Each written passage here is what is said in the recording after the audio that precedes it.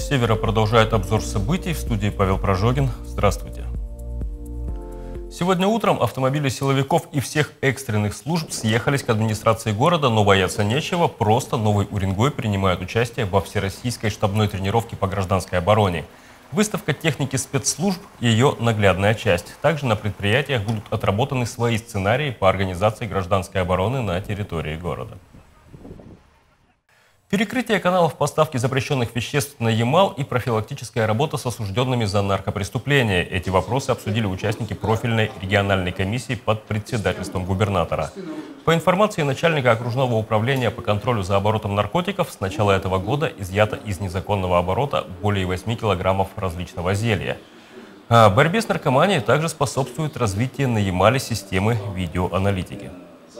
Система видеонаблюдения, которую мы активно разворачиваем, тысячи камер мы в этом году в сумме устанавливаем.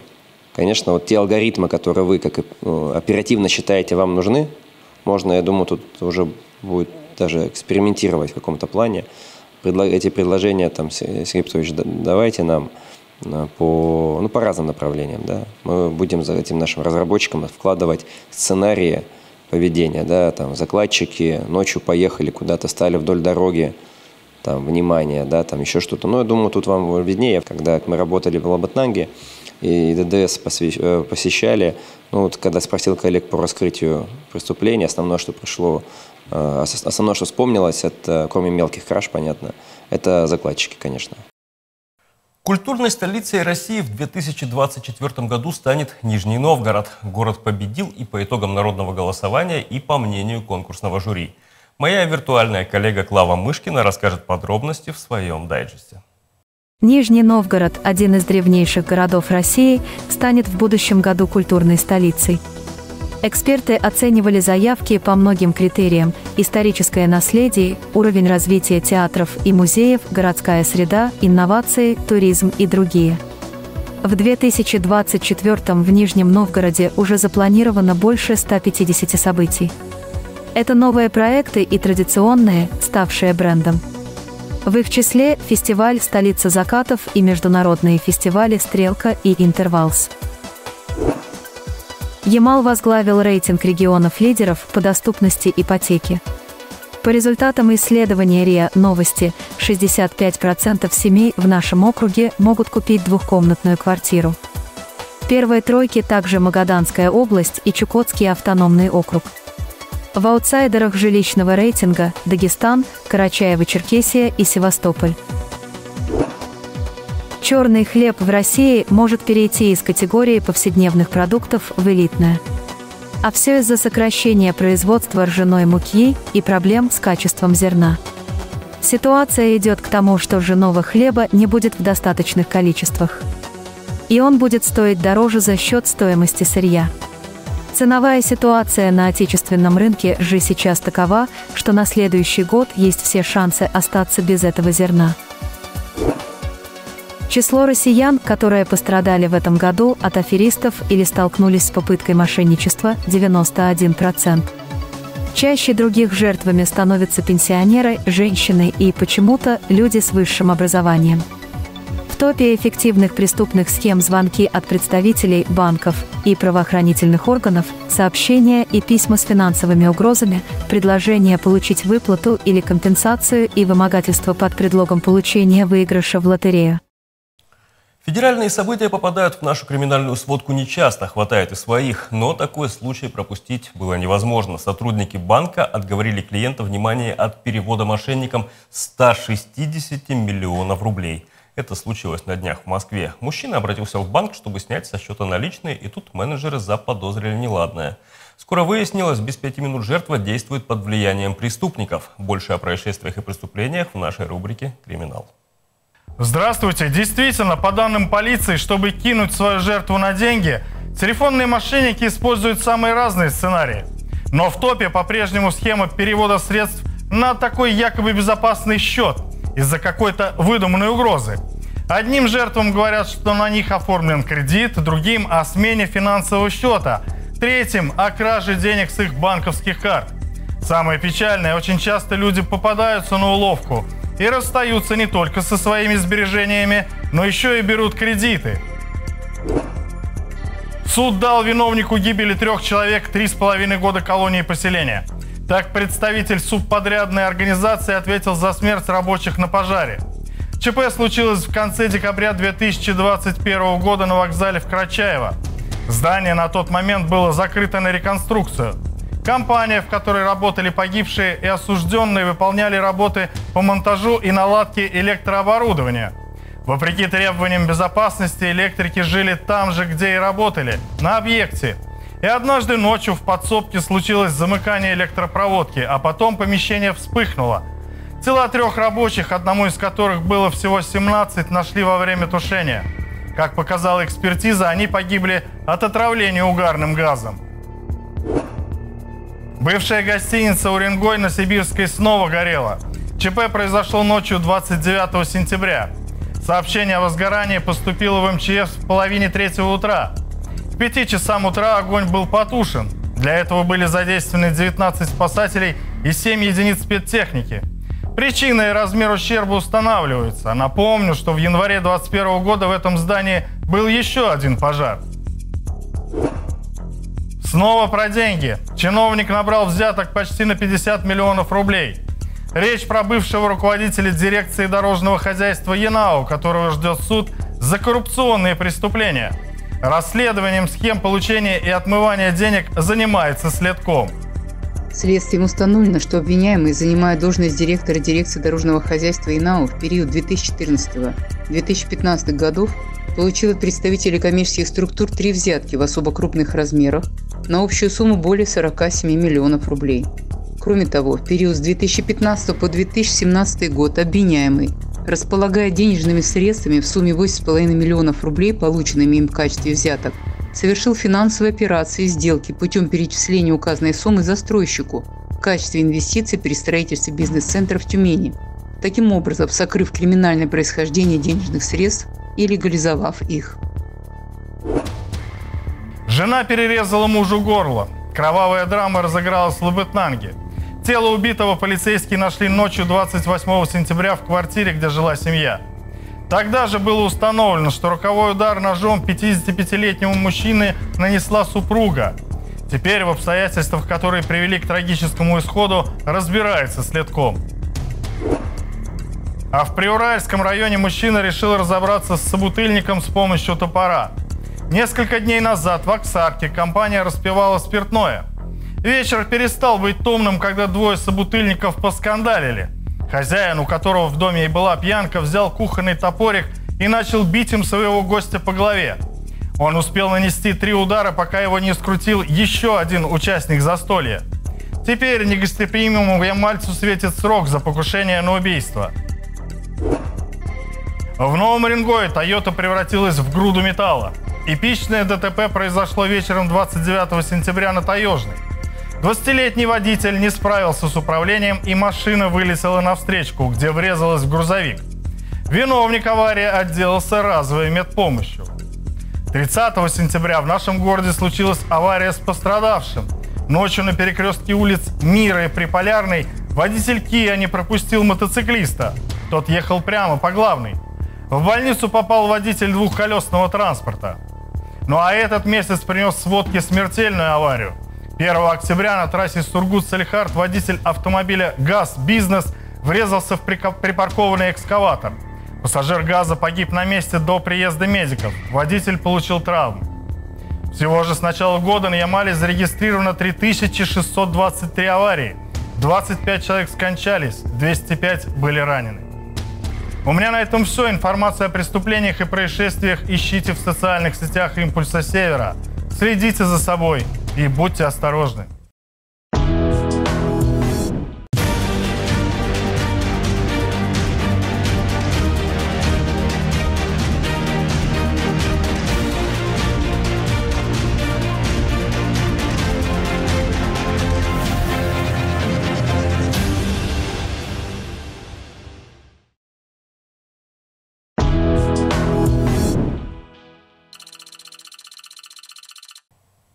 И продолжим тему достопримечательностей. У нас она тоже появится, причем уникальная. Практически Ямальский парк Галицкого с известной на всю Россию зоной отдыха сравнил благоустройство озера Молодежное главный архитектор города. Ясно одно, нас ждет нечто удивительное. На объекте побывал глава Нового Уренгоя с командой. Проверили, как справляется подрядчик и что уже сделано. Отмечу, тут строительство разделили на три этапа. Самый сложный и трудоемкий, конечно, первый. Милана Федорова продолжит тему. Рельеф, откосы, подпорные стенки, укладка плитки, а еще установка древесно-полимерного композита. В общем, все самые сложные благоустроительные работы позади. Первый этап преображения набережной в Новом Уренгое выполнен на 75%. В очередной раз проверить ход работ на объект приехал глава города с командой. Так на вид хрупкий, конечно. Нет, так смола эпоксидная, не стекло. То в следующем году мы, наверное, уже подойдем к окончанию работ по озеру, поскольку второй и третий этап, они менее затратные. А третий этап это у нас противоположная сторона озера, она фактически остается от зеленки.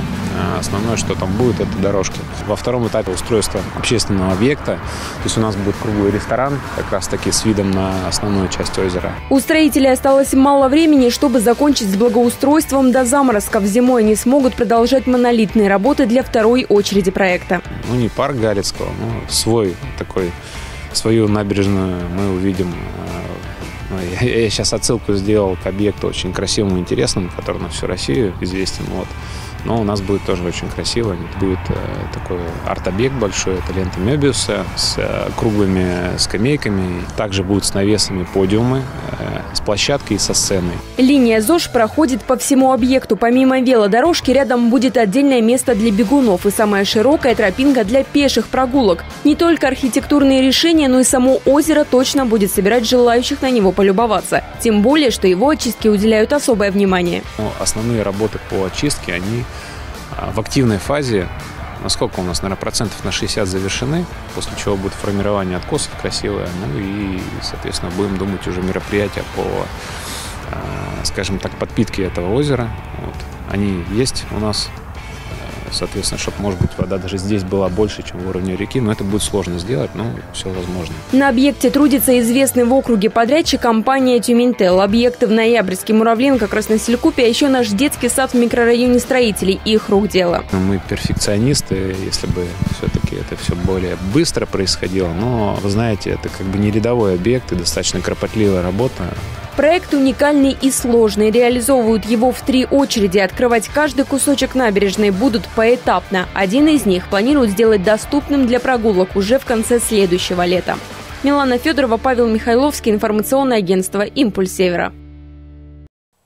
Благоустройство – это хорошо, а нарушать его правила – плохо. К сожалению, не все новоуренгойские водители это понимают. Теоретически они знают, что парковаться в зоне зеленых насаждений нельзя. Это запрещает региональный закон, однако соблюдают его далеко не все.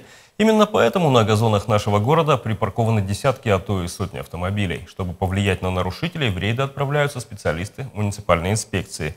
Вместе с ними выехала и наша съемочная группа. Вот эта машина, а еще это и это, да и десятки других во дворе на оптимистов невольно стали нарушителями закона. Припаркованы они на газоне, в местах, где могла расти трава без проплешин, оставленных колесами авто. Но автомобиль, в общем, и не виноват, а вот его владелец несет полную ответственность. Закон ЕНАУ парковаться в зоне зеленых насаждений запрещает.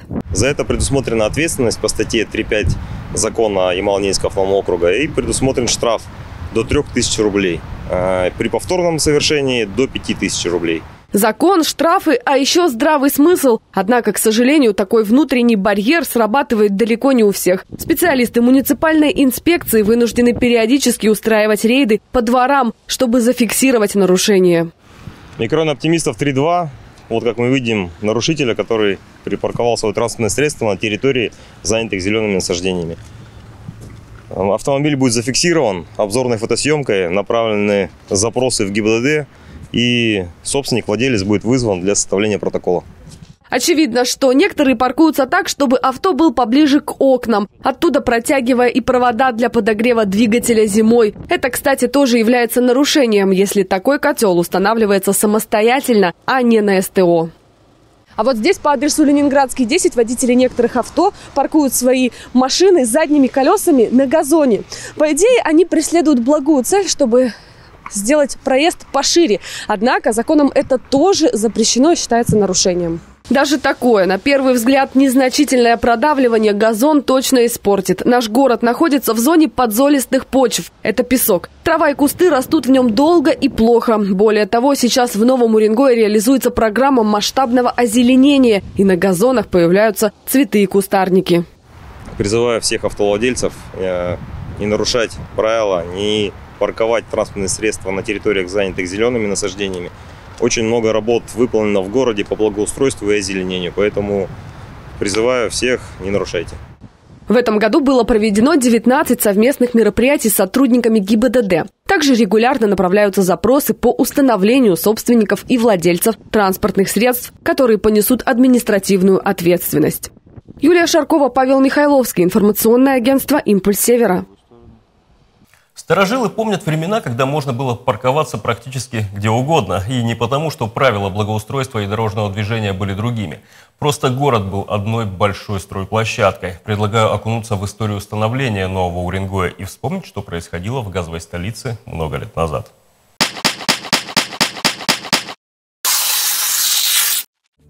Любят здесь бывать малыши. Хотя любят, сказанное про поликлинику, наверное, покажется слишком, но это действительно так, если бы еще не уколы. Новая городская детская поликлиника, ее все называют новой, хотя существует она с марта этого года, обслуживает более 15 тысяч пациентов в возрасте, как определяют его сами медики, от 0 до 14. Приводят сюда малышей, живущих в городе, привозят пациентов из трассы. С 8 утра и до 8 вечера открыты двери. Более 100 сотрудников, из них 24 врача, работают здесь. Для удобства населения введена талонная система.